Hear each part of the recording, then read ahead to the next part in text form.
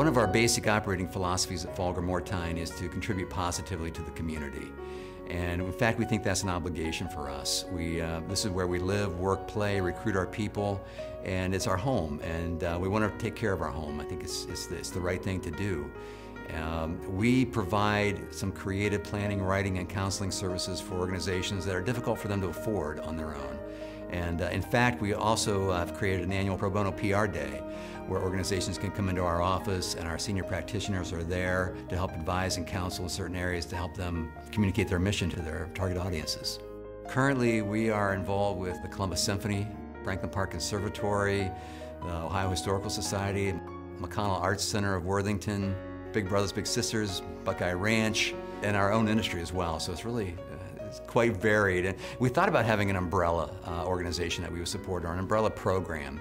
But um, we decided not to do that. We think it's important at Fahlgren Mortine that we, that we really support uh, a wide variety of efforts. Fahlgren's been a partner with the Ronald McDonald House since the inception 29 years ago. We're going on 30 years, and they've been there the entire time. They've supported the All-American High School basketball games and um, when they get involved, their entire team gets involved. They bring everyone to the table to help make it the best event that it can possibly be. And we raised over a million dollars for the Ronald McDonald House during that effort. That far exceeded their goal, so extremely proud of that. We were able to pay the mortgage off of the house. That was a pretty big deal to us.